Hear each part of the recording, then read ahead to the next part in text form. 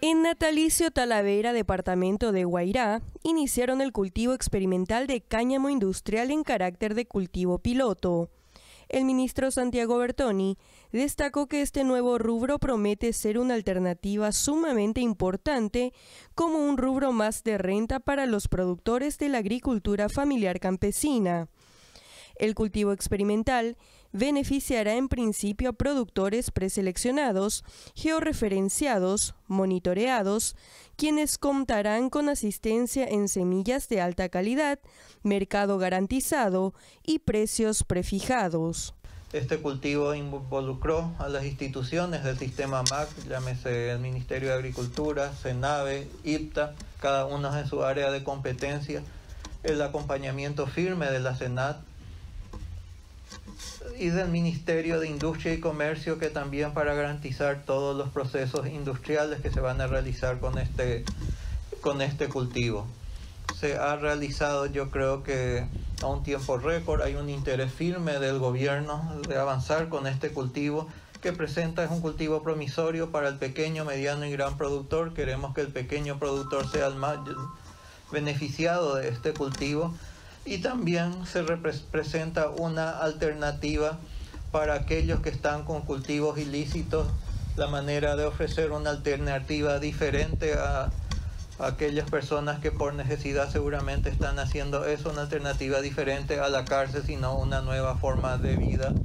con este cultivo. Este cultivo se va a realizar, hay un control de una manera controlada, hay un sistema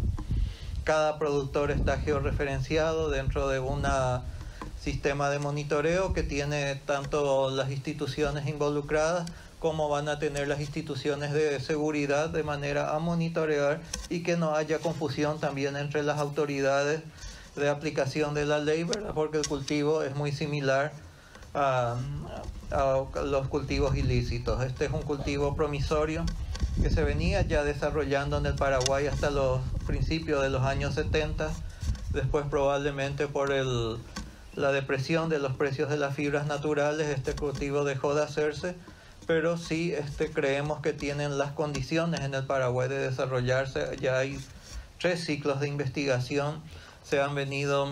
seleccionando los mejores materiales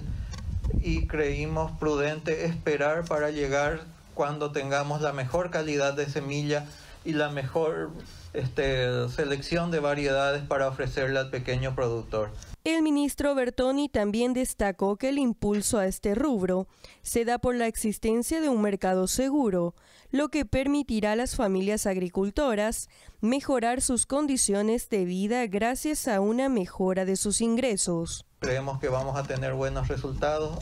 Otra característica es que hay un contrato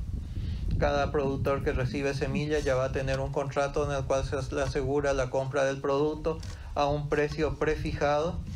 Entonces ahí ya estamos este, resolviendo lo que es el mercado y con esto ir creciendo en una alternativa más para de producción al pequeño productor. Y elegimos este departamento para hacer este lanzamiento porque creemos que Acá hay muchos productores que pueden ser beneficiados. También esto se está haciendo paralelamente en los departamentos de San Pedro, ahora en Guairá. Mañana creo que se van a hacer en los departamentos de Itapúa, de manera a ir llegando en pequeñas superficies a cada uno de los productores, como dije, en este carácter de cultivos piloto, para generar información, conocimiento y ir este, avanzando lentamente pero con pasos seguros para ir teniendo los resultados promisorios porque si nos apuramos mucho corremos el riesgo de cometer errores y a lo mejor algo que puede ser muy bueno podemos este, eh, desalentar ya desde un principio y eso no queremos. Les deseo éxitos a todos, tanto a los productores, empresas, cooperativas, que este esfuerzo conjunto que se viene realizando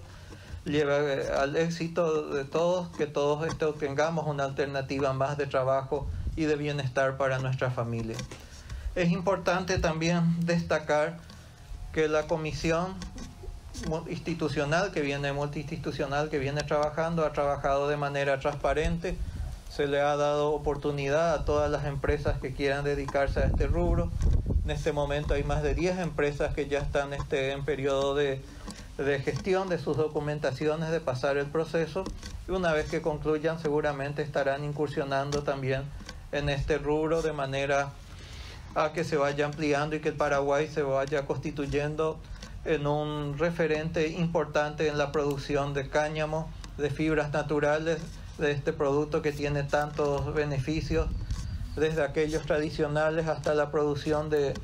de plásticos o de bioplásticos que hoy el mundo es tan demandante de estos productos. El cultivo de cáñamo industrial fue autorizado en octubre de 2019 a través del decreto presidencial que autoriza la producción del cáñamo.